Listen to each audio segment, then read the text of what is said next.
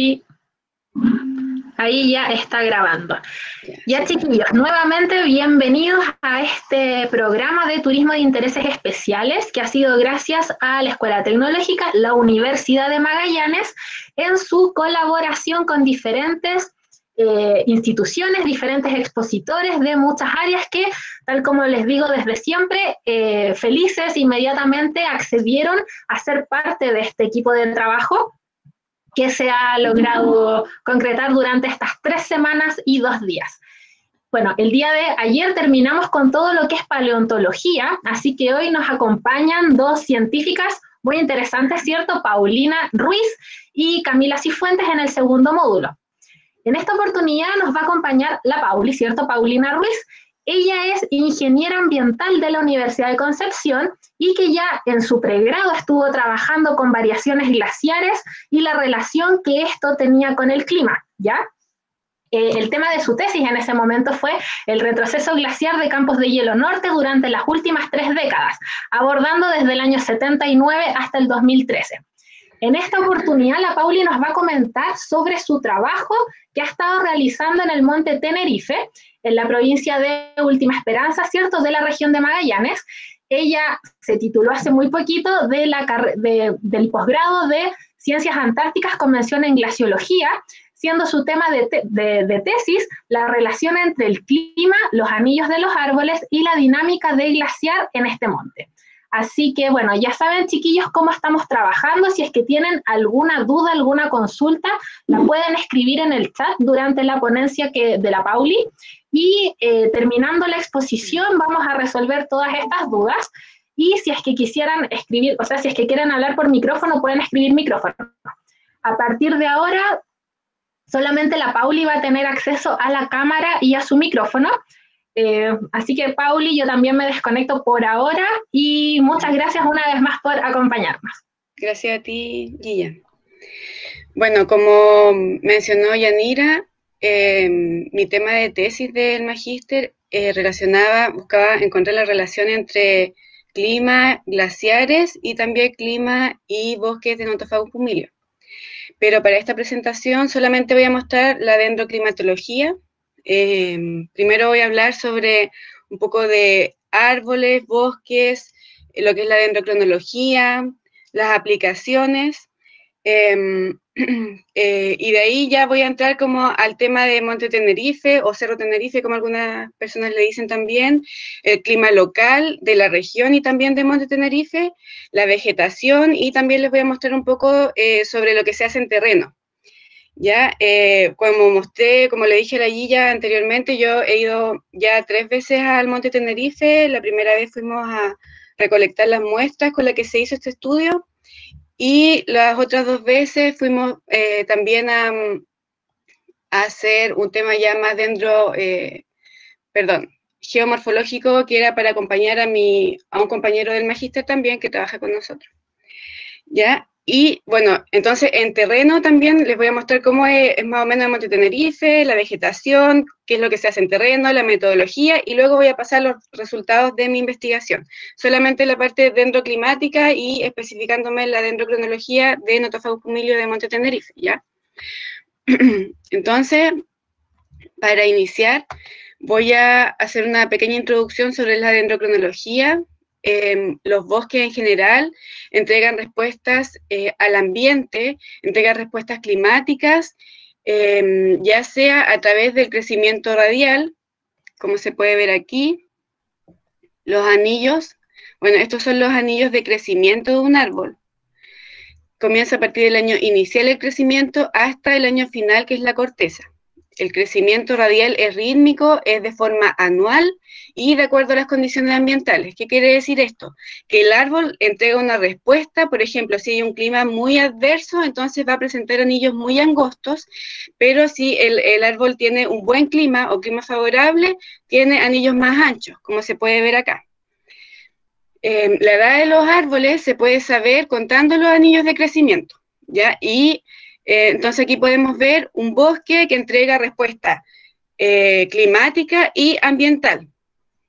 Y por ejemplo acá también podemos ver, eh, generalmente se pueden ver en, trozos longitudinales como una leña, se pueden ver em, anillos de crecimiento. ¿ya? Si se elija bien esa leña, por supuesto, esa madera, se pueden ver eh, anillos de crecimiento como se pueden ver acá. Eh, generalmente, lo que se utiliza para la investigación son barrenos de incremento o barrenos de Pressler. Y se saca una muestra muy pequeña que es a través de un tarugo de 0,5 em, milímetros aproximadamente. Entonces no se le hace mayor daño al árbol. ¿ya? Eso es para que quede claro, porque solamente se, saca esta muestra. La aplicación de la dendrocronología, que es la que estudia la edad de los árboles, puede ser, por ejemplo, aplicada a incendios forestales. Em, este es un incendio que está en bosques de Lenga también, que está en el Parque Torres del Paine, y la forma de eh, identificar los incendios forestales es a través eh, de sacar las muestras con este barreno eh, y comparándolo con patrones de árboles vivos, ¿ya? Cercanos al sector para saber e identificar el año exacto en que se ve eh, la cicatriz de incendio. ¿Ya? Este, esta figura la van a ver en casi todas las diapositivas porque es la que encuentro que es mejor para explicar que este es el año de crecimiento, el año inicial y el año final que el año final es el último año de crecimiento o bien cuando se toma la muestra. Entonces, como dije, se puede presentar en una muestra una cicatriz de incendio, se puede saber cuándo ocurrió específicamente un incendio o también eh, erupciones volcánicas. Y también se puede saber las variaciones glaciares. Por ejemplo, este glaciar Chaparelli en Cordillera de Darwin y en, los sectores morrénicos, en las morrenas, eh, laterales o frontales, que eso yo creo que lo vieron con Camilo, em, cuando ya está cubierto de bosques de primera generación, bosques de, cualquier especie, se puede saber eh, los años en que el glaciar fue eh, retrocediendo y dejando las morrenas. Entonces, em, hay un, se pueden muestrar los árboles en morrenas aledañas, laterales o frontales de glaciar. Por ejemplo, eh, ya específicamente para el glaciar Tenerife, em, este glaciar Tenerife, que, em, por ejemplo, este serían las morrenas frontales del glaciar y también laterales. Entonces, también se pudo saber, no específicamente para mi estudio, pero también se pudo datar eh, el año de estas morrenas. Solamente se puede hacerlo si es con bosques de primera generación, como lo mencioné anteriormente. Entonces, la idea de, de ocuparla dentro cronología para esta, para esta aplicación es encontrar los bosques más cercanos o los árboles más cercanos al glaciar y así identificar el año exacto en que llegó ese árbol a ese lugar. Y eh, con nuestra suerte, en el segundo terreno que tuvimos, em, pudimos encontrar, por ejemplo, un árbol muy pequeño, que se puede ver ahí, que este es el glaciar, entonces podemos ver que el glaciar fue, retrocediendo y fue dejando em, em, las morrenas. Y aquí también se puede ver que esta es una lenga eh, sumamente estresada y tratando de sobrevivir para, em, bueno, tratando de sobrevivir. Entonces, eh, lo que hicimos que fue, eh, sacamos la lenga, generalmente se sacan las muestras con el tarugo, como mencioné anteriormente, pero en este caso como un compañero de magíster igual quería saber eh, el año exacto en que em, ocurrió el retroceso de glaciares e identificar las morrenas cercanas al glaciar. Entonces, hubo que, tuvimos que sacrificar el árbol y sacar sacar el árbol, cortarlo, lijarlo y ver el año inicial. ¿ya? Entonces, esto se lo estoy mostrando para que sepan que también hay aplicaciones eh, dentro, eh, dentro geomorfológicas. Bueno, con respecto a los estudios dendroclimáticos, las especies que más se utilizan son la araucaria araucana, que es la araucaria.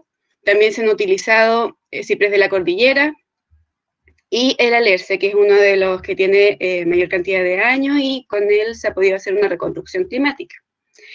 Para el sector se han utilizado especies como Notofagus betuloide, que es el coigüe de Magallanes. Este eh, bosque también se encuentra eh, bajo el Cerro Tenerife, por si acaso. Y específicamente lo que yo voy a hablar es sobre la lenga, que es Notofagus humilio. La lenga se distribuye desde los 35 grados sur, en los altos del Icay, eh, específicamente cercano a Talca. Em, se ubica principalmente en el límite arbóreo de la cordillera de los Andes, en el sector de Chile y Argentina. Desde los 35 grados sur hasta los 55 grados sur en Diente de Navarino o eh, Puerto Williams.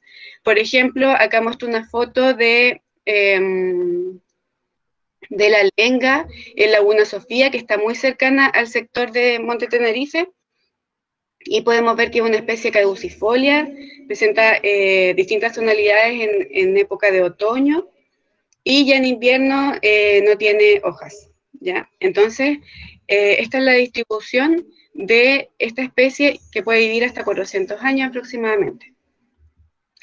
Esta especie se encuentra principalmente en el límite arbóreo, que sería este.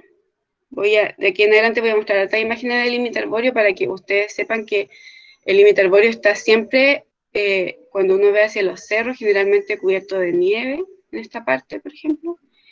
Y aquí se puede ver los últimos bosques de lenga.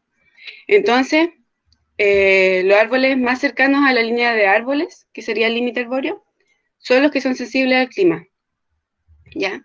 Esto porque el clima limita el crecimiento de esta especie y el ancho de anillo, que es lo que voy a hablar eh, ahora en adelante, el ancho de anillo va variando año a año, generalmente con anillos más anchos o anillos más delgados.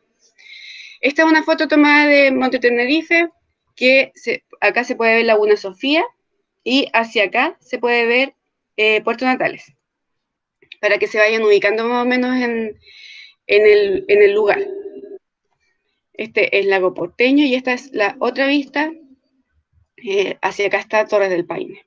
¿ya? Entonces aquí podemos ver que en abril estos bosques de límite que están ubicados en el límite arbóreo están cubiertos de nieve. ¿ya? Pero en enero, por ejemplo, estos bosques están eh, sin nieve, em, están principalmente achaparrados y, este, em, esto que estén achaparrados es principalmente por efecto del viento, em, que son los vientos del oeste, ¿ya? Esto también se llama eh, o madera retorcida.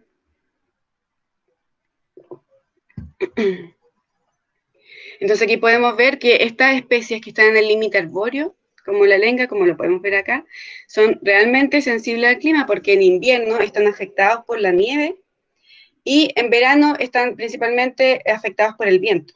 Entonces siempre están como sobreviviendo de manera estresados, entonces producen árboles más pequeños, o sea, eh, anillos más pequeños o más anchos, y ahí se los voy a ir mostrando más en la metodología. Ahora voy a pasar a hablar sobre el clima y vegetación del sector. En el sector oeste, los montos de precipitación son muy elevados y eh, principalmente la vegetación es de tundra magallánica, también está el bosque magallánico perennifolio, mientras que en el sector este de Campo de Hielo Sur está el bosque magallánico deciduo y más hacia el, hacia el este está la estepa patagónica, con montos de precipitación muy bajos. Para que tengan una idea, Monte Tenerife se encuentra ubicado donde está esta estrella, ¿ya? Después voy a explicar un poco más eh, en detalle. El clima local también está afectado por un gradiente orográfico, el cual está dominado por la cordillera de los Andes, en este caso, em, eh, Campo de Hielo Sur, y eh, utilicé dos climogramas para que vean las diferencias, el climograma de Faro Evangelistas y el climograma de Punta Arenas. Faro Evangelista ubicado en el sector oeste y Punta Arenas en el sector este. En barras se pueden ver los montos de precipitación mensual y en línea los, eh, la temperatura media. Entonces, sabemos que en Faro Evangelista hay mayores montos de precipitación mensual. Aproximadamente, alguien entró con un micrófono, por si acaso. Em, aproximadamente a 300 milímetros eh, mensuales de precipitación, mientras que la temperatura media de Faro Evangelistas eh, no presenta, es mayormente uniforme, ¿ya? Y no presenta estacionalidad como en Punta Arenas. En el sector este, que sería la estación de Punta Arenas, eh, hay em, estacionalidad en los es la temperatura media, presentándose los mayores montos de temperatura en los meses de verano y las temperaturas más bajas en los meses de invierno. Con respecto a la precipitación, es mucho menor en la estación de Punta Arenas, aproximadamente 30 milímetros mensuales. ¿ya? Ahora voy a hablar un poco sobre el cambio climático regional y cómo está afectando al sector. Eh, sabemos que eh, existe el cambio climático, eh, se está, por ejemplo, aquí podemos ver la imagen del glaciar Uppsala en Campo de Hielo Sur, en el año 1930, que se veía una gran masa de hielo y el cual fue retrocediendo y en el año 2016 ya se puede ver este lago proglaciar. Entonces, hay un cambio climático que está afectando a los glaciares y también está eh, produciendo específicamente en los bosques de Antofagasta Humilio un incremento de ataques de insectos defoliadores. ¿ya? Esto eh, lo atribuyen principalmente al cambio climático. Con respecto a las variaciones climáticas, hay un forzante climático regional que es el modo anular del sur o también llamado oscilación antártica. Este em, afecta desde los 40 grados sur hacia la Antártica y em, genera una contracción de los vientos del oeste desde los 40 grados sur hacia la Antártica. Entonces, en resumen, lo que quiero explicar es que este forzante climático está produciendo un aumento de temperatura en este sector, ¿ya?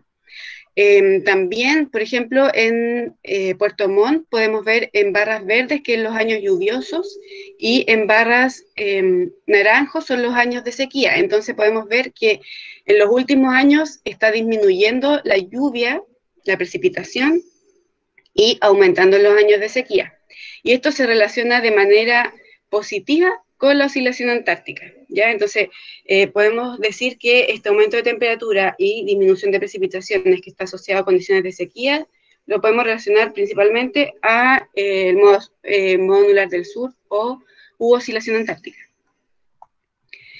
Entonces, ya podemos saber cómo se está comportando el clima regional o local, principalmente a través de registros instrumentales. en esta imagen son los registros de las estaciones meteorológicas de la región, pero em, de la Dirección General de Agua y que tienen datos de temperatura. Entonces podemos ver que eh, hay pocas estaciones meteorológicas en la región. Si bien eh, eh, a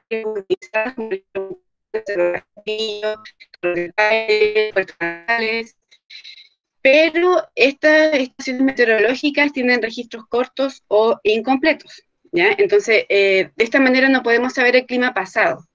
Y lo que la, idea de, saber, eh, porque estos datos tienen, tienen registros desde el año 1990 en adelante aproximadamente, 1980, entonces son 30, 40 años y de esta manera no podemos saber el clima pasado. Entonces, para saber qué es lo que está ocurriendo o qué es lo que ha ocurrido en los últimos 100 años, por ejemplo, 150 años, es bueno utilizar la dendrocronología y a su vez la dendroclimatología.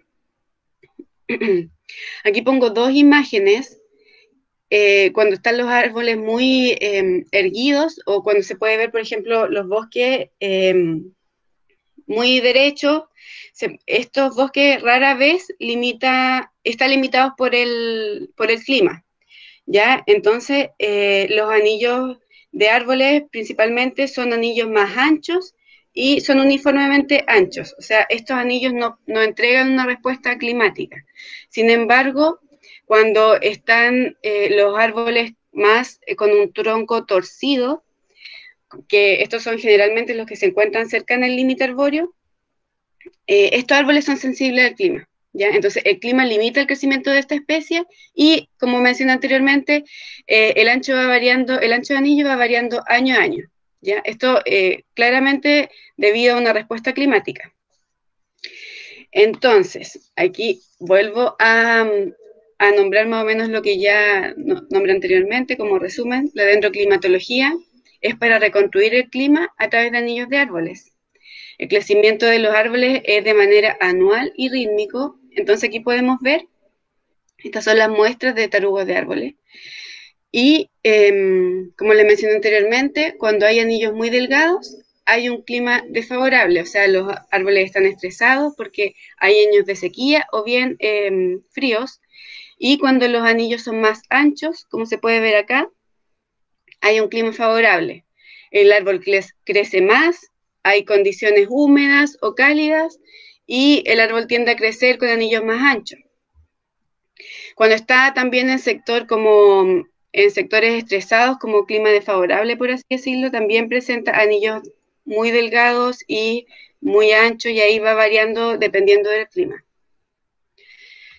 Entonces, em, sabemos que los árboles de lenga específicamente que están ubicados en el límite arbóreo pueden entregar una respuesta climática de temperatura y precipitación. En el sector entre los 35 y 39 grados sur hay una muy buena correlación con la precipitación. ¿Qué quiere decir esto? Que al aumentar la precipitación también aumenta el ancho de anillo, porque sería un clima favorable.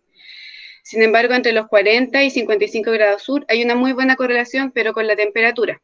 Esto quiere decir que si aumenta la temperatura, también aumentaría el ancho de anillo. ¿ya? Y dada esta muy buena eh, correlación, por ejemplo, entre los 35 y 39 grados sur, se ha podido hacer una reconstrucción climática por estos autores y que específicamente hicieron una reconstrucción de precipitación que llegó hasta el año 1835 aproximadamente. También se, hizo una reconstrucción climática de temperatura mínima anual eh, entre los 51 y 55 grados sur, desde el año 1830 hasta el año 1996 aproximadamente, y esto indica que para este sector hay un aumento de temperatura. ¿ya? Em, ahora voy a hablar un poco sobre Monte Tenerife. Em, esta imagen está eh, sacada desde eh, la costanera de Puerto Natales y Monte Tenerife se puede ver acá. Monte Tenerife tiene una forma piramidal y acá se pueden ver sus glaciares. Está ubicado en el sector, eh, en el extremo sureste de Campo de Hielo Sur. Acá está. Y el clima local, como les mencioné anteriormente, eh, está presentado por las dos estaciones, las que yo ocupé para mi estudio, son las dos estaciones que es de Torres del Paine y Puerto Natales, que son las más cercanas. Ambas presentan estacionalidad en las temperaturas medias, que tienen eh, los mayores montos de temperatura media en, en verano y las temperaturas más bajas en invierno y la precipitación es muy baja con respecto al sector oeste. Entonces, la precipitación, por ejemplo, eh, mensual de Torres del Paine es aproximadamente de 60 milímetros mensuales, mientras que la de Puerto Natal es de 40 milímetros mensuales. con respecto a la vegetación, eh, Monte Tenerife se encuentra ubicado en el ecotono entre la estepa patagónica y el bosque magallánico deciduo. Podemos ver en esta imagen que este monte Tenerife tiene 1.600 metros eh, de altura aproximadamente. Eh, está el glaciar Tenerife, también el glaciar H1, H2, H3, que yo esta imagen la muestro más que nada para que sepan que uno ve el monte Tenerife, pero hacia atrás también se pueden ver los glaciares. Y em, lo que uno um, ocupa en esta investigación es, como mencioné anteriormente, es el límite arbóreo que está em, delimitado por una línea roja. Este es un bosque de lengas y en punto verde es el sector de extracción de las muestras, donde eh, fue el sitio de muestreo, principalmente entre los 740 y 710 metros sobre el nivel del mar. La vegetación de Monte Tenerife, como se puede ver en esta imagen, em, al empezar a subir el Monte Tenerife encontramos especies arbustivas como por ejemplo em, notro, em, calafate, chaura, canelo y, em, empezando a subir también encontramos coigüe de Magallanes, Y ya desde los 400 metros aproximadamente hacia arriba encontramos el límite de Notofagus Ahora voy a hablar un poco em, sobre los terrenos que hemos tenido. Aquí ya podemos ver una imagen que induce a los terrenos y, bueno, yo generalmente los terrenos debo reconocer que casi siempre voy atrás, así que aprovecho de sacar fotos. Em, el primer terreno fue en abril de 2018, eh, específicamente para sacar las muestras y, e identificar el área de estudio. En este eh, equipo de terreno íbamos cuatro personas. Em, Juan Carlos Aravena, que es nuestro profesor guía, eh, también Mike Kaplan y Gonzalo Amigo, que también trabajaba en, en tesis de magíster, y yo. Entonces, este terreno se em, dividió en dos, en dos grupos, pero uno empezaba a subir, lo que quiero explicar en esta imagen es que uno empieza a subir el Cerro Tenerife y se puede encontrar en la parte eh, más baja, como mencioné anteriormente, con especie arbustiva, pero después ya ve como árboles más añosos, más adultos, y después ya uno empieza a llegar al límite arbóreo donde se ven las especies más curvas, las lengas más curvas. Después la idea era llegar a identificar el sector y ver hasta dónde podíamos llegar para poder tomar las muestras. Y nos dimos cuenta que estaba todo cubierto de nieve, entonces al menos nosotros, que fue el equipo dentro, nos quedamos en este sector. Esto es lo que uno ve, eh, como podemos ver acá, en abril ya estaba todo, el límite arbóreo está cubierto de nieve, y una vista eh, espectacular. Eh, muy lindo. Eh, bueno, los terrenos en sí, la gente que, hace turismo, los que están tomando el curso, saben que cuando uno empieza a subir el, cerro, se da cuenta que es realmente afortunado de estar ahí porque ve un paisaje realmente privilegiado. Entonces, em, tenemos este límite arbóreo, llegamos hasta arriba, nos dimos cuenta que podíamos tomar la muestra solamente de abajo esta parte que eh, son los troncos retorcidos, troncos torcidos, inclinados, y se sacan dos muestras por árbol. Como podemos ver aquí a Juan Carlos, bueno, la idea es tomar la muestra a la altura del pecho, pero en este sector que los árboles están tan inclinados, hay que buscar la manera en que se pueda para sacar la muestra. Este es el sector eh, yo en mi tesis trabajé y sacamos muestras, 20 árboles en el nivel alto, que eran los 740 metros sobre el nivel del mar, 720 y después 710. ¿ya? Entonces ahí la idea era ir viendo cómo se iban comportando las especies em, y los anillos cómo se iban modificando. Y el último nivel, que era los 710, se podían ver que eran árboles más erguidos, más antiguos también, y por lo tanto eh, que tienen anillos más anchos. Esta es la metodología. Como les mencioné anteriormente, se, sacan dos muestras por árbol con un barreno de incremento de tipo Pressler. Esta es una muestra. Y acá podemos ver el bosque que está súper con árboles súper inclinados.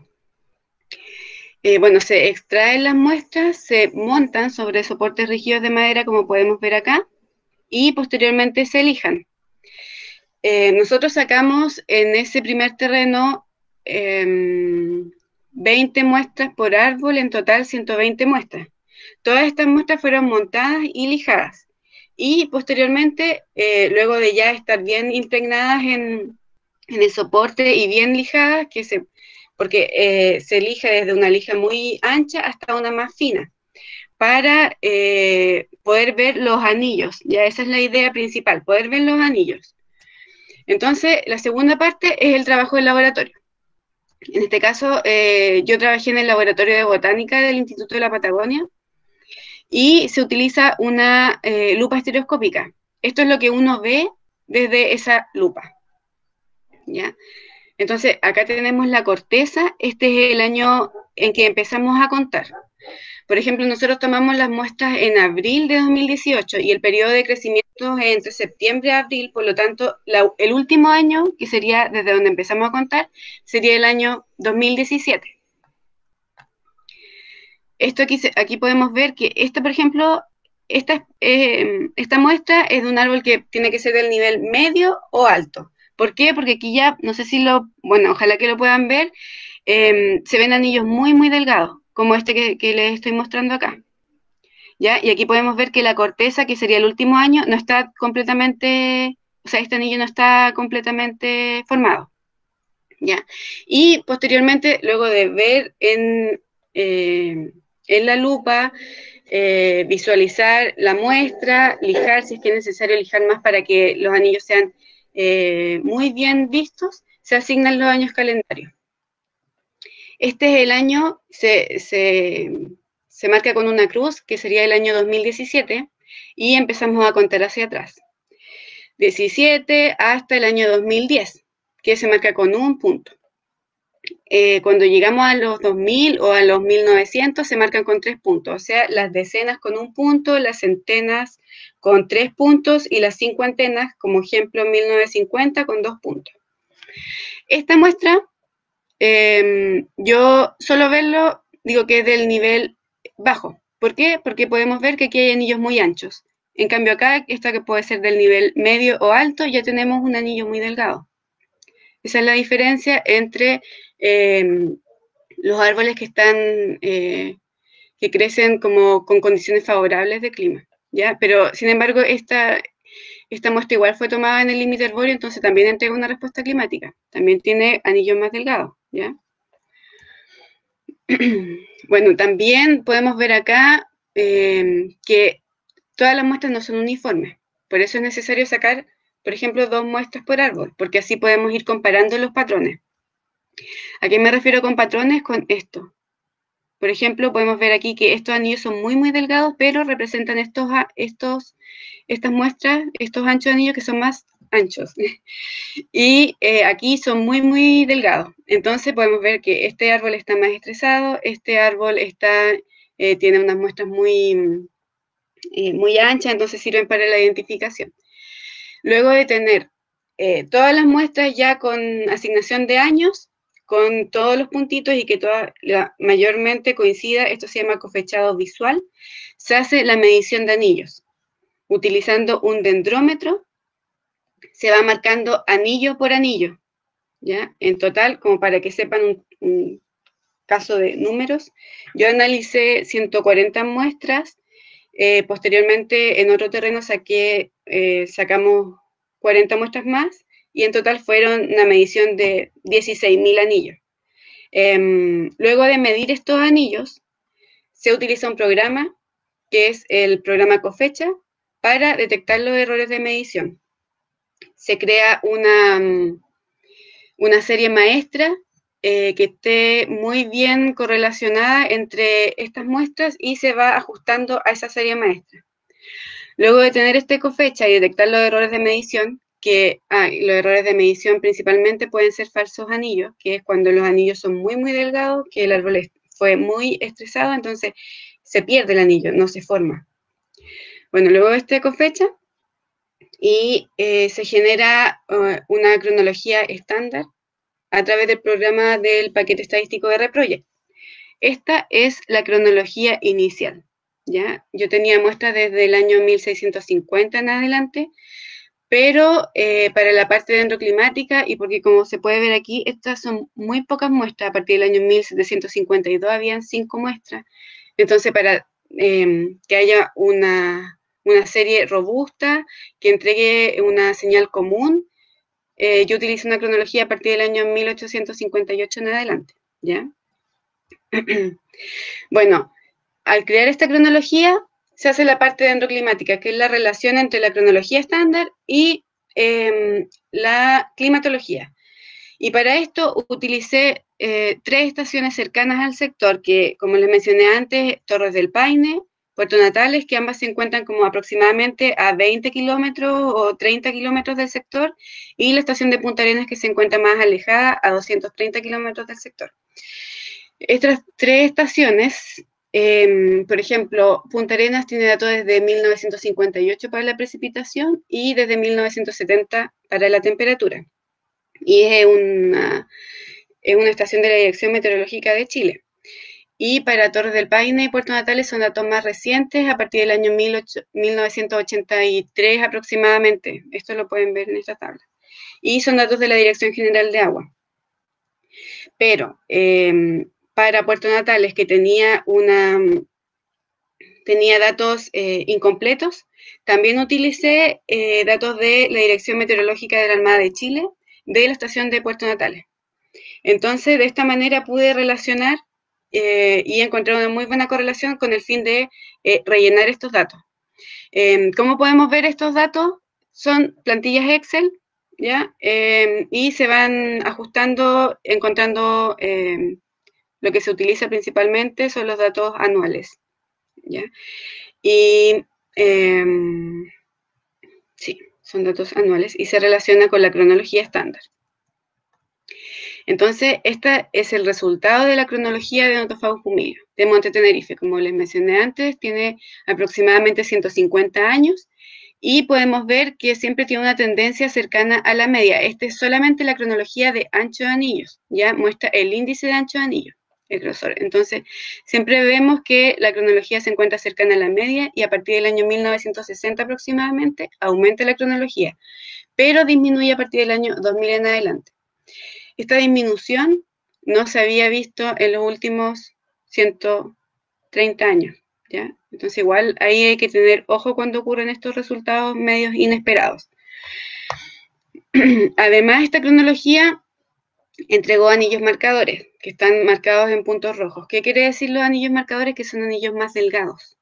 Por ejemplo, podemos ver acá en el año 1906, 1912, 1919, entonces ya vamos viendo, hay una, eh, un periodo que se está repitiendo. Cuando estábamos en, ah, se me olvidó mencionar algo muy importante. Eh, yo esta técnica la aprendí porque Pamela Soto me la enseñó. Y cuando estábamos en, viendo las muestras en el laboratorio de botánica, ella todas las muestras me decía, eh, oye, se te está repitiendo el ciclo de siete años de Juan Carlos, se te está repitiendo el ciclo de siete años. Hay otro micrófono que se prendió, chicos. Y, entonces yo pensaba, ¿cómo? Eh, no, no puede ser, no puede ser el ciclo de siete años porque otro sector. ¿Ya? Pero, bueno, sí, es un ciclo que está marcado y que está eh, principalmente en un 25% de la cronología y se debe a una respuesta biológica que está principalmente puede ser por ataque de insectos desfoliadores, ¿ya? Eh, eh, ellos se comen las hojas y producen que eh, se genere un anillo más estrecho. Y también puede ser por los ciclos de semillación de la lenga. Em, estos estudios del ciclo de siete años empiezan a partir del año 2002 en adelante, con el estudio de Juan Carlos Aravena, donde, y colaboradores, donde encuentran este ciclo marcado de siete años en Isla Navarino. Y eh, lo atribuyen principalmente a ataques de insectos defoliadores. Entonces, siempre, em, siempre están, los científicos están, cuando encuentran este ciclo de siete años, puede ser que lo atribuyen a ataque de insectos o también a ciclo de semillación. Y este ciclo de semillación también fue encontrado en el año 2000 en Cerro Balseiro principalmente porque entre los 6 y 8 años se dice que las lengas eh, empiezan a producir sus semillas. Entonces, hay hartos estudios que indican y están tratando de descubrir qué es exactamente lo que está pasando con las lengas cada 7 años. Pero, por ejemplo, podemos ver acá en este último estudio en que han incrementado los ataques de insectos defoliadores a partir del año a partir del año 2000 en adelante y lo atribuyen principalmente al cambio climático y a las condiciones de sequía. Esto em, es específicamente para la región de Aysén, pero también está en la región de Magallanes. Entonces, eh, sabemos que este ciclo de siete años tiene una respuesta biológica y no es de origen climático, pero lo que yo quiero, o lo que yo quería saber de mi cronología es una respuesta climática, entonces para eso tuve que filtrar la cronología y que solamente entregar una respuesta climática. Ahora también voy a mostrar sobre, eh, bueno, les mostré antes ya un poco sobre la dendrocronología, sobre la cronología de Monte Tenerife. Em, pero acá lo voy, a, comparar con otros estudios. Em, se puede ver un poco complicado porque em, son cronologías, muchas líneas, en fin. por ejemplo, acá esta es la tendencia hasta el año 1960 y también se puede ver esta misma tendencia en cuatro, en cuatro bosques, en cuatro cronologías de Torres del Paine. Esta tendencia está siempre cercana a la media, hasta el año 1960, donde empieza a incrementar. En este estudio, lo relacionaron con el aumento de temperatura porque tenía una muy buena correlación con la temperatura. Entonces, ¿qué quiere decir esto? Que al aumentar la temperatura también aumentaría la cronología o al menos se mantendría. ¿ya? Sin embargo, los estudios posteriores indican que este aumento no ha ido continuo, sino que ha disminuido. Entonces, ¿qué es lo que está pasando? Y eso es como el gran, porque se supone que si aumenta la temperatura y hay una muy buena correlación con la temperatura, entonces el ancho de anillo debería seguir aumentando, pero está ocurriendo lo contrario. Y esto también está ocurriendo en el lago del desierto y en el volcán Choscuenco, como se puede ver desde el año 2000, ha disminuido. ¿Ya? Entonces, esta disminución, eh, bueno, tratando de averiguar qué era lo que estaba pasando, eh, también se atribuye a, una respuesta climática y es principalmente porque hay un estrés hídrico, eh, principalmente debido por veranos más cálidos y menos precipitación. ¿Qué produce esto en la especie? Es que los anillos sean más estrechos. ¿Por qué? Porque las condiciones de sequía hacen que se cierran, bueno, esto es algo ya más específico, pero se cierran los estomas y eh, el árbol en el fondo empieza como a sobrevivir y generar, utilizar muy pocos recursos, ¿ya? Entonces, em, si quieren después les puedo, les puedo contar más de esto, pero es algo muy específico que en el fondo lo que quiero explicar acá es que en los últimos años sí se ha encontrado una disminución de la cronología y se atribuye a condiciones de sequía, ¿ya?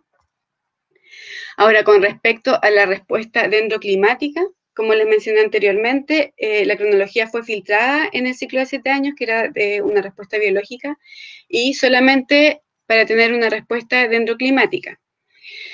en verde, en todos los gráficos, en verde está la cronología y los que tienen eh, un gráfico con punto rojo es porque invertí los valores, de, eh, los valores climáticos para mejorar la interpretación para que ustedes puedan ver cómo se ajusta el clima a la cronología, ¿ya? Como por ejemplo acá. Entonces, eh, con respecto a la precipitación de enero, dos años previos, eh, podemos saber que hay una correlación negativa.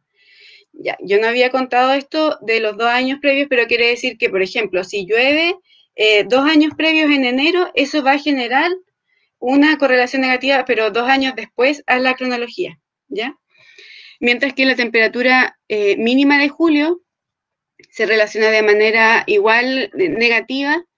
Eh, este, em, esta es una respuesta que es la que tiene mayor eh, correlación y con la cual se pudo, se pudo hacer una reconstrucción climática. Con respecto a las temperaturas máximas, tienen manera una respuesta diferente. Entre los meses de periodo de crecimiento, que serían de septiembre a diciembre, dos años previos también, tiene una correlación positiva. Esto quiere decir que al aumentar la temperatura máxima entre esos periodos, también aumenta el ancho de anillo, pero en la temperatura máxima de junio, em, eh, dos años previos también, cuando em, se relaciona de manera negativa. Se relaciona de manera negativa. Entonces, como les mencioné anteriormente, Em, hubo una muy buena respuesta eh, dendroclimática, una muy buena correlación, que fue de menos 0,57, son números, pero eh, en el fondo lo que les quiero decir es que con la temperatura mínima de julio de la estación de Puerto Natales, se pudo hacer una reconstrucción climática. Esta reconstrucción climática es de las temperaturas mínimas, de las anomalías de temperatura mínima mensual del mes de julio, anual del mes de julio. Entonces aquí podemos ver que periodos fríos que están registrados en otras investigaciones entre los años 1858 y 1908, se puede ver aquí que los datos son temperaturas mínimas bajas. Y el año 1921, que también es un año eh, muy bajo, de temperaturas muy, muy frías. Sin embargo, em, esta reconstrucción climática em, no tuvo una eh, un buen resultado estadístico, una varianza muy baja, por lo tanto no tiene una respuesta eh, clara, eh, no, tiene una respuesta esperable, más bien dicho. Ya que los periodos cálidos, que se ha demostrado en distintas investigaciones, ya sea em, con registros instrumentales o también a través de em, reconstrucción climática a partir de anillos de árboles que indican que a partir del año 1950, 1960, hay un periodo de calentamiento en esta región.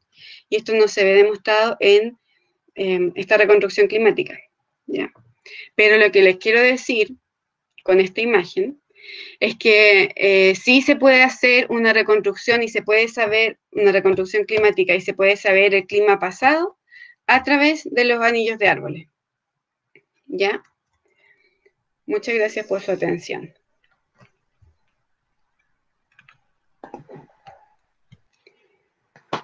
Bravo, yo creo que te estamos todos aplaudiendo, Pauli. Ya. Excelente tu presentación, muchas gracias. Ahora si quieres puedes dejar eso, dejar de compartir la pantalla para que podamos ver las preguntas. Mira, aquí lo ideal es que vayamos eso, leyendo en voz alta, porque en el video que queda grabado solo quedamos grabadas nosotras y el audio. Entonces por eso es mejor leerlos para que después en el video quede contexto de lo que se está respondiendo. Ya. ¿Tienes acceso ahí al chat? Sí, yo lo veo, gracias. Muchas gracias. Ah, es que estás al final. no, pero fantástico. Mira, la primera pregunta que tuviste fue de Helen, que te dice, disculpa Paulina, no entendí bien por qué los árboles que tienen un tronco torcido son los que sirven para establecer climas pasados. Ya. Em, voy a mostrar igual la presentación, ¿ya?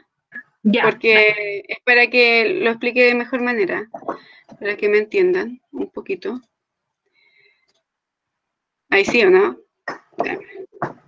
Soy súper... A ver, ¿lo ves? Todavía no se comparte, no. No, ya. Ay, ay, ay, esta cosa. No te pasaste, Pauli, tremendo trabajo tu tesis. ¿Ahí lo ven? Sí, ahí lo vemos. Ya, perfecto. Eh, ¿Por qué eh, los árboles entregan que tienen el tronco retorcido? Es principalmente porque se encuentran en el límite arbóreo. Yo mencioné que estos son árboles que están estresados, por ejemplo, ahí lo podemos ver, em, estresados con el clima. Bucha, no me acuerdo en qué parte está, acá. Entonces, cuando hay árboles que están eh, muy erguidos, estos árboles rara vez entregan una respuesta climática, pero cuando están eh, con el tronco torcido, siempre están, em, siempre, o sea, se dice que el clima está limitando su crecimiento, porque, por ejemplo, acá ya podemos ver que eh, generalmente tienen nieve que está como pesando, entonces eh, está produciendo un estrés en el árbol. Y mm. eso se puede ver en el ancho de anillo, porque cuando estos árboles son sensibles al clima, generalmente presentan anillos así, muy delgados. En cambio, cuando eh, tienen anillos más anchos, es cuando los árboles están, viven en condiciones favorables, por así decirlo. O sea, por ejemplo, si tú ves en, una, en un lugar que está muy plano, los árboles siempre van a estar derechos y esos árboles están siempre viviendo, es como que están con un clima favorable, crecen lo suficiente todos los años, con anillos estrechos, pero cuando ya se ven en, en sectores que están como empinados, ahí tú ya ves que tienen una forma diferente, o sea, están, eh, están como sobreviviendo, o sea, tú, eh, a ver, no sé cómo, no sé si se entiende, no sé si lo pueden entender, pero en el fondo es, es eso, o sea, es que generalmente en el sector alto eh, los árboles siempre están estresados como limitados por la nieve o por bajas temperaturas, eh, en cambio, cuando están en el nivel bajo, eh, eh, más bien los árboles crecen de manera regular, solo... Están como más a gusto. Claro, sí. Mira, cae la pregunta si es que para identificar la edad de los árboles siempre tienen forma de anillos o se pueden encontrar de otra forma. Es que los árboles entregan su respuesta anual a través del ancho de anillos. Esa es la forma. Ahora, ¿cómo sabemos eh, la edad puede ser, por ejemplo, si cortamos un árbol como si sacamos el tarugo, em, que sería la muestra, eh, esa es la forma que se ocupa porque así no se genera tanto daño, pero lo que estudiamos para saber la edad son los anillos de árboles. Perfecto, y mira, y ahora Helen, que es la misma que preguntó sobre sobre la curvatura, ¿cierto?, de las lenguas, pregunta si es que los datos de las estaciones meteorológicas son de libre acceso. Em, sí, yo me metí eh, a la DGA para el caso de la Dirección Meteorológica de la Armada de Chile, que tiene datos de eh, Puerto Natales, la que yo ocupé al menos de Puerto Natales, ahí tuve que contactarme con ellos directamente e ir a Valparaíso a sacar los datos. Bueno, eso no lo conté porque igual eh, no, no, es como tan detallado, pero para saber esos datos, por ejemplo, ellos tienen eh, cuadernillos, entonces hay que sacar fotos de los cuadernillos y traspasarlo al Excel. Igual es como sí, años de trabajo, completamente. Oye, mira, Laín pregunta si es que hay especies nativas que presentan más resistencia al clima que se identifique al momento de estudiar los anillos. O sea, mm, la especie y lo que yo he visto que mm, lo que yo he visto que las especies que se ocupan son las que mencioné anteriormente, los que tienen mayor cantidad de años, por ejemplo, de la leerse, y con ellas han podido hacer reconstrucciones hasta, ¿cuántos fueron el último? No recuerdo, pero más de mil años, más de mil años, más, mucho más de mil años. No sé si respondí su pregunta, pero en el fondo es para la región Notofagus betuloide, eh, Lenga. Perfecto, sí, de hecho había una araucaria también súper antigua que habían pillado por conguillillo, si no me equivoco. Sí, o sea, todas esas especies sirven para reconstrucción climática también. Mira, Kaila pregunta nuevamente si es que, o sea, pregunta si es que un notofagus sea más delgado que otro, da nociones de la edad que podría tener o nada que ver. Ya, yo pensaba lo mismo, porque cuando yo fui al, terreno, tengo que reconocer que yo no cachaba casi nada de esto.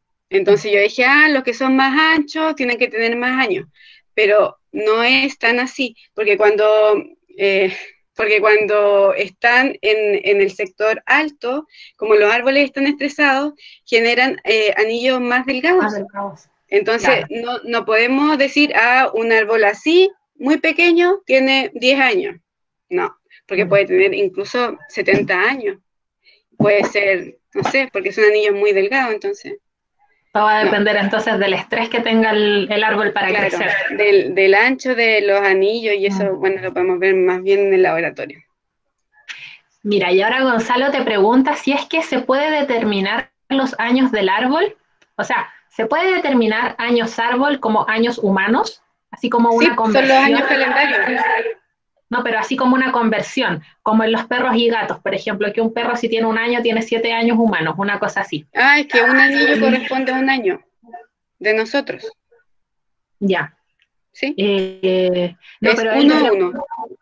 Ya. No, pero así como... a menos que ocurra esto que mm, lo que yo comentaba que había pack, así como pack de, mm, em, de anillos muy juntitos, que yo lo mencioné un poco en la, presentación, que es cuando uno ve como, eh, por ejemplo, cinco anillos juntos y en la otra muestra, que es la muestra hermana, podemos ver solamente uno. Perfecto. Pero eso se ve comparando. Mira, y aquí te pregunta si es que si un árbol está más estresado que otro y sufrió de sequía y sus anillos son más gruesos, ¿su edad cambia en comparación con el resto? Pensando en que su tiempo de vida es, eh, ah, eh, comparando que, la, o sea, em, pensando en que su vida es mucho más larga que la de nosotros como humanos, que de otros seres vivos. Em, a ver, de nuevo la pregunta, que me desconcentré porque estoy viendo, como que veo las conversaciones, entonces me concentré. es, que, abajo están todas las felicitaciones. Sí, entonces como que me... Yo estoy en la de las 15-16, para que te hagas una idea de esa hora. Bueno, es que él al principio hacía alusión sobre, por ejemplo, que si uno tiene un perrito de cuatro años, el perrito es adulto, independiente que como ser humano de cuatro años es un niño, pero para un perrito de cuatro años es adulto. Entonces él a eso se refería con la pregunta, creo. Gonzalo, si es que puedes prender tu micrófono para explicarnos bien, sería maravilloso, porque aquí como por escrito está medio complicado. Y bueno, y dice que, y si en ese caso, si un árbol está más estresado que otro y sufrió de sequía y sus anillos son más gruesos, ¿su edad cambia en comparación con el resto? Es que si el árbol está estresado, generalmente se sube al bosque. O sea, el, todos los árboles, y, todos tienen la misma respuesta. Generalmente todos tienen la todos tienen la misma respuesta. Fantástico. Mira, y ahora la INTE pregunta si es que los ataques de los insectos, esto por herbivoría, igual se considera como, el como un factor de estrés para el árbol. Eh, o sea, yo creo que sí, porque en el fondo está atacando las hojas, está comiendo las hojas. Mm. Yo eh, ahí en ese caso solamente puedo decir que falta información sobre esa, sobre lo, lo que expuse, ya que todavía no hay como una mayor investigación sobre el tema del ataque de insectos.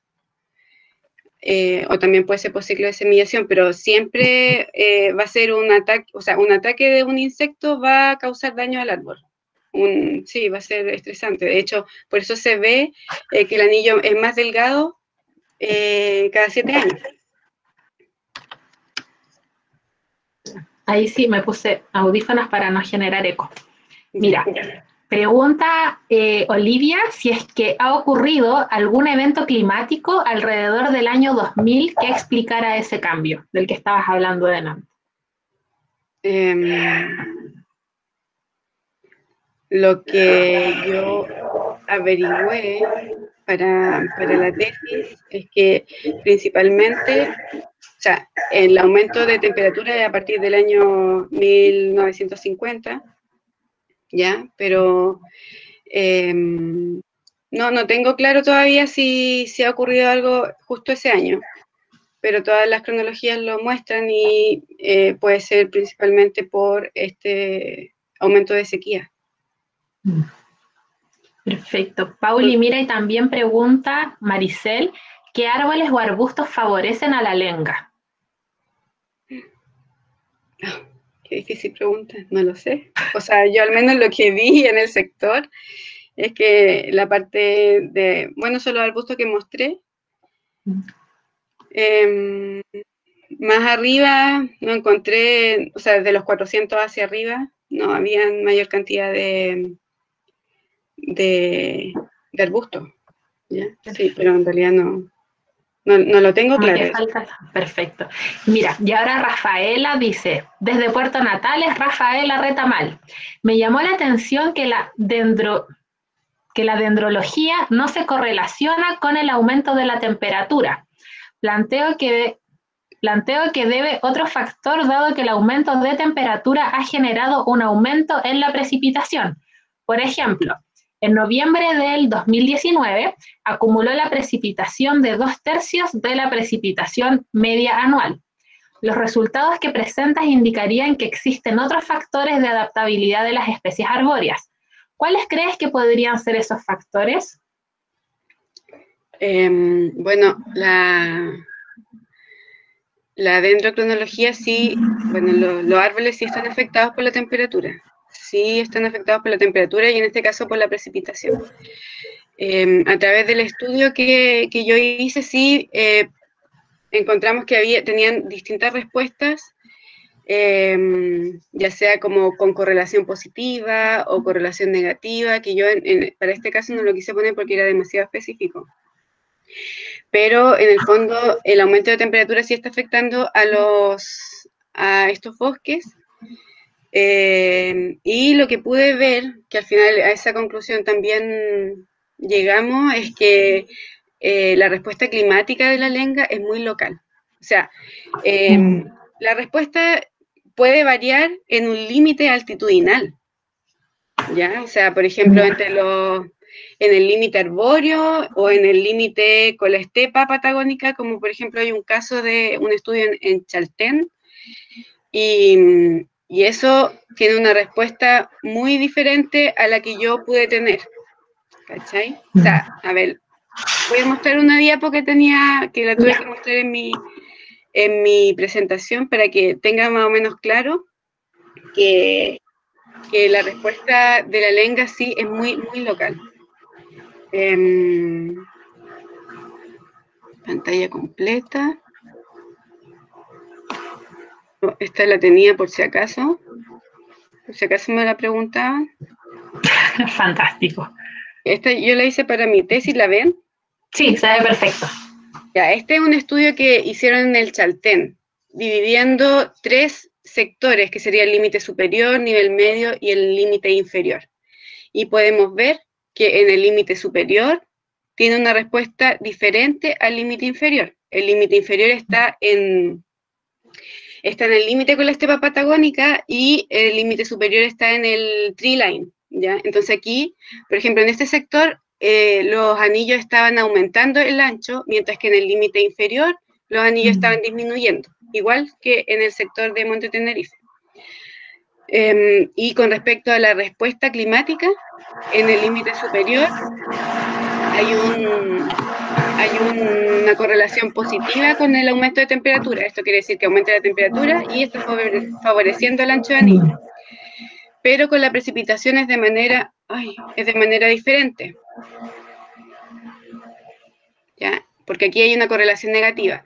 En cambio, en el límite inferior es diferente porque eh, hay una correlación negativa con la temperatura. O sea, ¿qué quiere decir esto? Que al aumentar la temperatura en los árboles del límite inferior, está disminuyendo el ancho de anillo.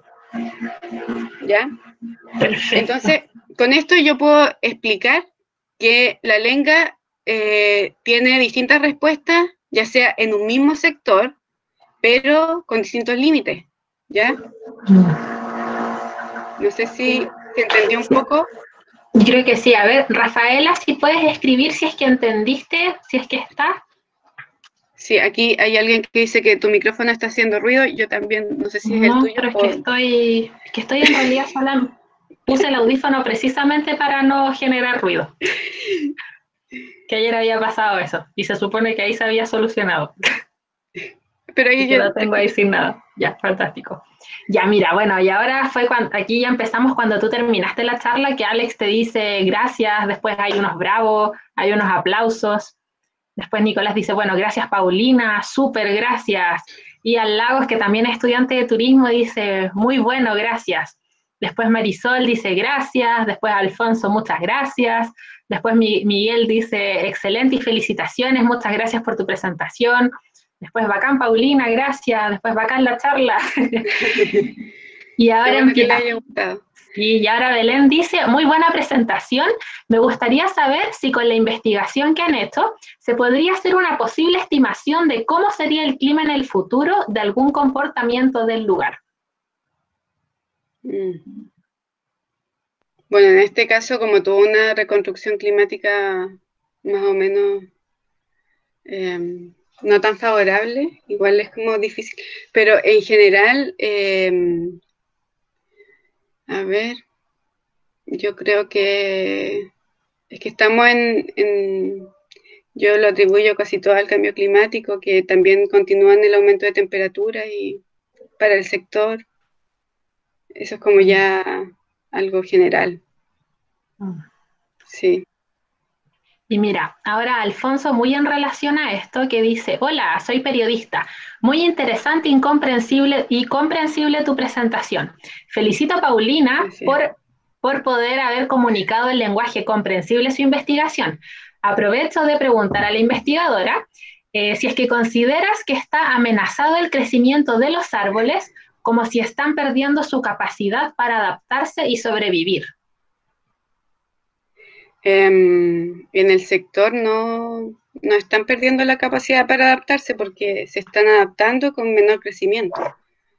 Bueno, o sea, disminuye el ancho de anillo, pero aún así siguen formando su anillo año a año. Siguen creciendo. Sí, a menos que sea por el ataque de, por ejemplo, yo tampoco mostré tanto porque la idea es como, eh, en general, decir lo que yo hice en la investigación, pero por ejemplo, eh, Juan Carlos decía que con, una compañera de trabajo, igual con Elena, fueron al Chaltén y ahí vieron eh, en bosques de lenga que estaba lleno, lleno de insectos. bueno, ah. estos insectos desfoliadores. Entonces, eso también genera como los árboles casi muertos, pero en realidad que estén creciendo muy, muy poco. ¿Cachai? Entonces, eso sí afecta. Oye, qué interesante esto. Te voy a dar el contacto, Pauli, de una chica que conocí el año pasado que trabaja con insectos desfoliadores. Así que ahí a ver si pueden hacer un clic. Sí, pues. Mira. Sí, está súper interesante el tema. A mí me gusta esto. Ella trabaja ahí en Chiloé, en la senda Darwin. Ya, Ya, mira. Hel- Helen dice que fue la pregunta de los árboles, de las lengas curva- eh, curvadas, dice, está buena la explicación, solo me lo había perdido. Ah. Ah, ya. Después Nicolás dice, tremenda pega Paulina. Después Orfelina pregunta si es que la corteza debe tener una densidad promedio para saber si ese árbol terminó su crecimiento. No, en el caso eh, de sacar las muestras, generalmente, la idea es como hacerlo después del periodo de crecimiento. Nosotros justo llegamos hasta abril, entonces no alcanzamos a terminar el, el último anillo, por eso incluimos el 2017, pero eh, generalmente o idealmente conviene hacerlo después, después de esa fecha, pero no, es necesario. Mira, y ahí Ni- Ninoska pregunta, eh, cuando hacen las tomas de muestra, ¿cuánta, desde cu- ¿cuánta profundidad es la que entierran el taladro para sacar esta muestra? Ay, no sé cuánto mide el barreno, pero una muestra, a ver cuánto será eso. Sí. Pero es pequeña, una muestra así. Depende si, si es más, si es más profunda, alcanza más allá. A veces eh, llega al, al año inicial, si el, el árbol es muy, muy delgado. No, no recuerdo la verdad el, el, ¿Cuánto el mide en centímetros? bueno, y ahora Sí. don Pedro te dice, muy buena presentación, Paulina, felicitaciones. Después Nicolás Daneri dice, recomiendo a los interesados de este tema leer el libro Colapso de Jared Diamond. ¿Mm? Y bueno, Enzo Mardones dice, ¿cómo se puede saber que el crecimiento del árbol, o sea, el ancho de anillos, haya sido una respuesta a eventos climáticos y no a otras circunstancias de estrés locales propias del lugar donde está creciendo, como condiciones edáficas del suelo, exposición al viento, disponibilidad de nutrientes, etcétera? Es que en este caso yo lo relacioné con el clima, ¿ya? Mm. Entonces, por eso también sabemos que es la respuesta climática, pero hay otros estudios y otras especialidades que también ven el tema de humedad. Yo específicamente para mi tesis no lo hice y también es súper interesante.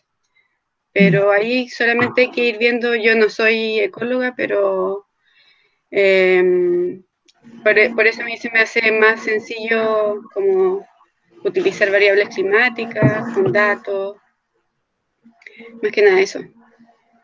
Pero también hay otros estudios que lo hacen. O sea, ya la parte más de ecología de bosque y crecimientos, pero en este caso yo no lo hice. Yo ahora solamente estaba mostrando como lo que he hecho, eh, lo que hice en mi tesis de magíster. Perfecto, y mira, y ahora Pilar te dice, seca Paulina, muy clara tu exposición. Y después Helen nuevamente pregunta si es que podrías mencionar cómo el efecto de los glaciares se ve reflejado en los anillos. Mm. Em, yo lo que quería explicar ahí en el tema glaciar, cuando mostré un poco eh, esa información que era de, en el fondo de mi otro compañero de, de magíster, es que igual a través de las morrenas, que son lo, eh, lo que va dejando el glaciar, bueno, yo creo que los chicos que ya están haciendo el curso saben lo que son las morrenas, entonces hay morrenas frontales, laterales, que en el fondo son como los depósitos de morrena, que son depósitos morrénicos de, de retroceso glacial. Entonces luego esas morrenas se van colonizando, inicialmente se van colonizando por líquenes y también eh, posteriormente por árboles. Entonces ahí podemos saber que, podemos datar si es que hay un bosque de primera generación, o sea que solamente ha habido un, un árbol ahí y no, encontramos troncos caídos, por ejemplo, de árboles más antiguos. Entonces ahí podríamos saber la edad en que el árbol llegó ahí y se formula eh, eh, como una tasa de variación en que el árbol llegó. Pero eso es como algo que yo no, no apliqué en la tesis, lo hizo mi compañero, como yo acompañé terreno a él, entonces como, por eso sé más o menos en qué se trata, pero en el fondo eh, sirve para datar eh, los retrocesos glaciares, las variaciones glaciares, y también se puede hacer con, con árboles o, o, o con muestras que están con árboles muertos también. Se puede hacer una Perfecto. datación cruzada, se llama. Mira, ahora Carla te dice, seca Pauli, muchas gracias, un abrazo. Después Laín pregunta algo si se refieren a asociaciones, pero no sé en qué contexto puso eso, así que voy a seguir. Voy a seguir. Rodrigo, que también es de Puerto Natales, pregunta por qué escogieron el área de Tenerife. ¿Es un lugar más expuesto a condiciones climáticas u otro motivo? Buena pregunta. Em, la investigación está asociada a un proyecto, un proyecto de, que se ganó Juan Carlos y Mike Kaplan igual, está dentro de ese proyecto. Mm. Y em, esta investigación busca encontrar como respuesta, eh, la verdad encontramos, o sea, encontraron que el glaciar, o sea, el, Tenerife tenía eh, buena ubicación, cercana a Torres del Paine. Generalmente las publicaciones o lugares de estudio se hacen siempre eh, en Torres del Paine, pero en esta, esta vez estaba como en un sitio diferente, entonces pues, se quería saber cuál era la respuesta de ese sector. En realidad hay información nueva y em, tiene todo. El Tenerife tiene todo lo que tú puedes imaginar, eh, vegetación, herbóreo, glaciares atrás muy cercanos y, por ejemplo, en mi investigación, inicialmente la idea era relacionar si el glaciar se relacionaba de igual manera con la temperatura precipitación, eh, cómo los árboles se relacionan con la temperatura y precipitación, de modo que hacer como un triángulo, por así decirlo, de relación entre árboles, clima y glaciares. Esa era como la idea inicial. Entonces es un buen, como, como se dice, es un buen laboratorio natural ese sector. Muy, muy bueno. Fantástico. Chiquillos, vamos a empezar a estar un poquitito más rápido ya porque van a ser cinco para las cuatro o cinco para las tres Claro, y después tenemos la presentación con la Cami, así que vamos a estar un poco más rapidito. Bueno, la Vane eh, a todo esto aprovecho de darle las gracias a la Vane, ella es la que hace, la diseñadora que te comenté, la que nos hace los afiches, así que muchas gracias. Muchas gracias Vane por todo tu trabajo. bueno, la Vane dice, hola, existe un bosque en la cordillera de Darwin por el seno Almirantasco que, eh, que presenta el mismo tipo de crecimiento curvo en los árboles. Ah, comento como antecedente, gracias. un comentario. Generalmente, lo que también traté de explicar en la presentación es que cuando ustedes vean un cerro, van a ver el límite arbóreo y bajo ese límite arbóreo se va a encontrar ese bosque curvo, por así decirlo. Es como para Del distintos sectores, mm. distinta distribución geográfica. Mira, bueno, ahora Rafaela dice, gracias Paulina, muy clarificador. Después Evelyn pregunta, ¿qué edades tienen los árboles de los bosques del, sector de Tenerife? Em, los que yo muestré habían desde 350 años atrás. Ese fue el más antiguo, 1650. Pero habían eh, también 1750, bueno, y de ahí hacia adelante. Fantástico. Bueno, ahora hacen comentarios con mi micrófono. ¿Ya todavía se escucha mal? ¿O ya se escucha bien? Me adapté, como los árboles. Sí, porque como estoy con esto igual que ayer, y ayer no había problema, así que asumo que ya debería estar bien. Eh, bueno, Leonardo te dice gracias Paulina. Después tenemos a Melanie que dice muy buen tema, tremenda explicación. Después tenemos a Cristian Aravena, él está en Puerto Guadal en este momento, así que desde ahí también te escuchan. Dice, Gracias por la presentación, muy interesante, saludos cordiales. Después viene, se me olvidó el nombre de ella, bueno, ella es encuesta CSA, pero ella está en San Pedro de Atacama, ha estado con nosotras todos estos días. Dice, Paulina, ¿te ha tocado medir los anillos de árboles del norte de Chile? Como por ejemplo, ah, Chañar, Algarrobo. Sí, eh, no, esta es primera vez que yo eh, mido anillos, eh, y justo fue para Monte Tenerife. De hecho, mm. mencioné un poquitito en la presentación que Pamela me, explicó toda la técnica y cómo hacerlo, porque yo en realidad no tenía idea de nada. O sea, cuando era chica veía los troncos y veía los anillos, pero no sabía que en realidad se podía tener una respuesta climática a través de esto. Así que la respuesta es no. Esta es la primera vez que mido anillos. Fantástico. Y mira, y ahora Benjamín dice, gracias por la presentación. ¿Obtener los años por medio de los anillos aplica también para árboles del bosque esclerófilo? Te está preguntando. ¿O existe otra mejor forma para este tipo de bosque? O sea, para medir los años se puede para cualquier árbol vivo. Fantástico. Sí, para cualquier especie en cualquier sector. Ahora la respuesta climática es, lo que yo mencionaba por el límite arbóreo y todo eso, pero para saber la dentro cronología que mide la, edad de los árboles, que estudia la edad de los árboles es eh, para cualquier árbol. Mira, ahora Ignacio pregunta, ¿qué tan dañino es la muestra para el árbol? Que él tuvo una vez un profesor de flora que les contó sobre eso hasta que una vez salió como, como sabia desde adentro y él, lo, y él no lo hizo más porque lo asimiló con la sangre. Ja, ja, ja, ja. Eh, sí, tiende a salir a veces. Em, no es tan dañino a menos que quede la perforación y puedan ingresar insectos, por ejemplo, insectos taladradores que dañan la, ya la madera del árbol, pero en general no, no, hay, no hay mayor daño. Solamente se daña ese, ese diámetro, no es todo el árbol, ni tampoco muere el árbol por la muestra. Bueno, ahí Laín de nuevo escribió que cuando era de esto de las asociaciones, que se, refería a por las especies que favorecían a la lenga. Por eso ya lo comentamos. Y Alex pregunta si es que es posible y por qué lugar acceder al Tenerife. ¿Se necesita un permiso especial? ¿Tiene senderos? Gracias.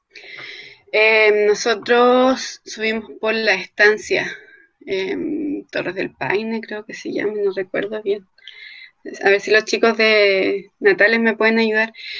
Em, sí, o sea, pedimos permiso de la estancia, no sé cómo estar ahora porque eso fue el año 2018, 2019, en enero fue la última vez que lo subí. Inicialmente hay senderos, pero después ya hay que ir subiendo por bosque achaparrado y ir buscando caminos, es más o menos complicado, no es como que haya un sendero por todo el cerro todo el monte hacia arriba.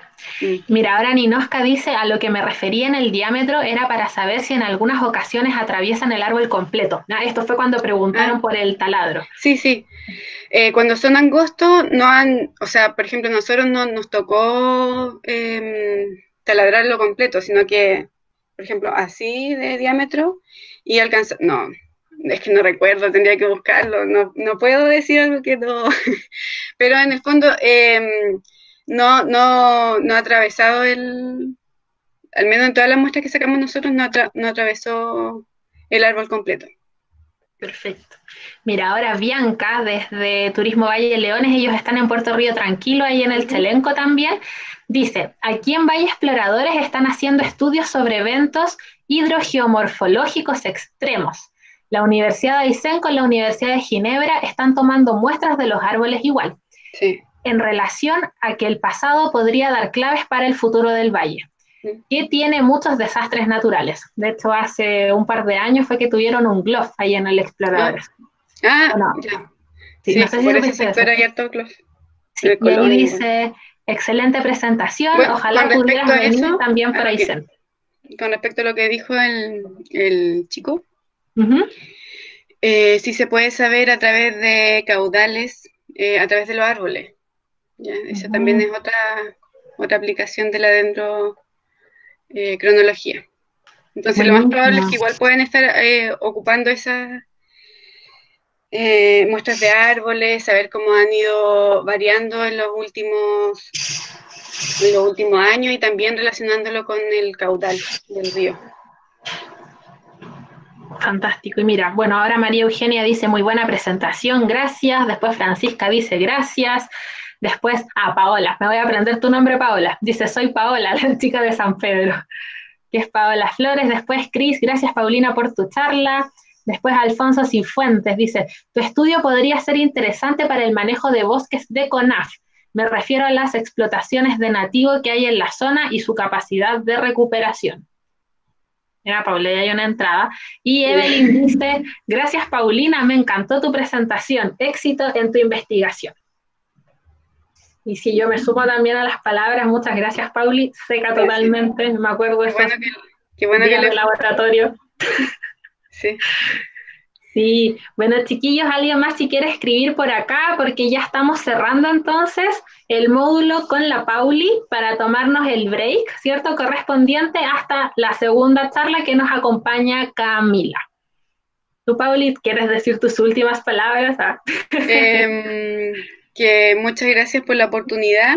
no sé si en el momento lo dije, pero igual las campañas en terreno son bien complicadas, entonces mm. nosotros para los dos últimos terrenos igual necesitamos, tuvimos que necesitar eh, de los chicos porteadores que nos ayudaron en Natales, no sé si habrá alguno que esté escuchando, pero también lo agradezco porque em, gracias a ellos también podemos hacer esta investigación. Y qué bueno que les gustó, porque mi idea era como de la manera más simple posible explicar lo que yo sé y porque a mí me gusta mucho el tema, es muy apasionante. Así es que qué bueno que les haya gustado. Todo increíble, Pauli.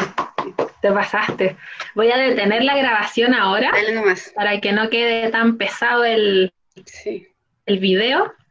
Ahí está, va a empezar.